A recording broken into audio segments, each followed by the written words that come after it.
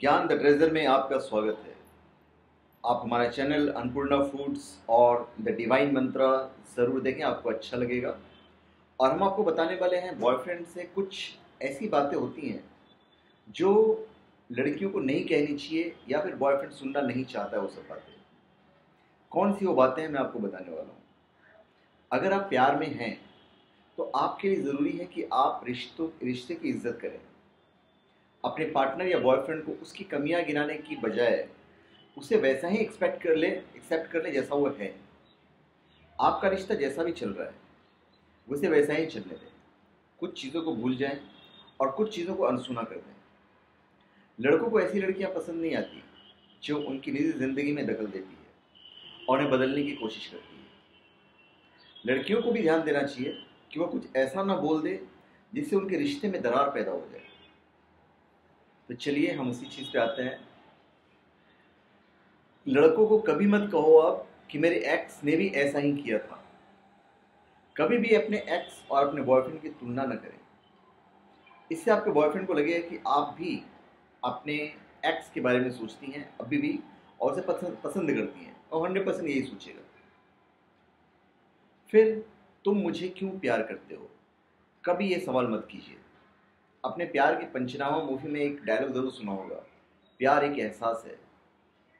इस बात को थोड़ा गंभीरता से लें क्योंकि आपका बॉयफ्रेंड आपको प्यार ज़रूर करता है। मगर कोई ज़रूरी नहीं है कि वो इसका कारण बताए।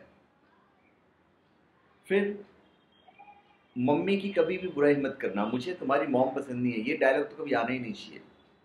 अगर आपको लगता है कि आपका बॉयफ्रेंड अपनी माँ के करीब है तो उसे ये कहना बंद कर दें कि आपको पसंद नहीं है।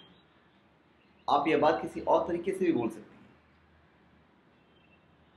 फिर एक अक्सर आती है बातें कि तुम्हें नहीं लगता है कि वो लड़की प्यारी है?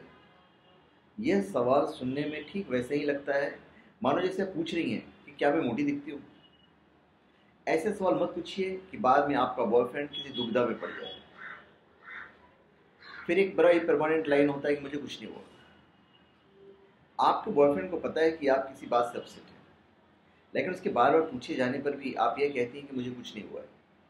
तो आपको ये बात बिल्कुल भी नहीं आती है, क्योंकि वह आपकी केयर करता है। तो उस चीज़ को समझिए कि वो बार बार क्यों पूछ रहा है, उसके एहसास को समझिए। फिर लड़कियाँ अक्सर अपने बॉयफ्रेंड को कहती थी, क्या तुम्हें सॉरी नहीं बोलना चाहिए? कभी भी अपने बॉयफ्रेंड को सॉरी बोलने के लिए फोर्स नहीं करें। उसे बस इतना बता दें कि आप उसकी किसी बात से हर्ट हैं। फिर माफ़ी मांगना या ना मानना, ये उस पर डिपेंड करता है। धन्यवाद। हाँ एक चीज़ और आप कभी ध्यान रखिएगा।